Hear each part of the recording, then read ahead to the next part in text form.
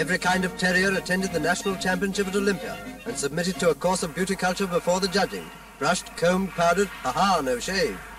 And as the hour for judging grew nearer, the excitement grew more and more intense. Blooming dark in here, can't see a thing.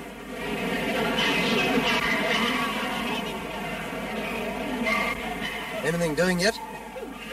Aha, they've started judging. If I'd known I was going to be messed about like this, I wouldn't have come. Tails down.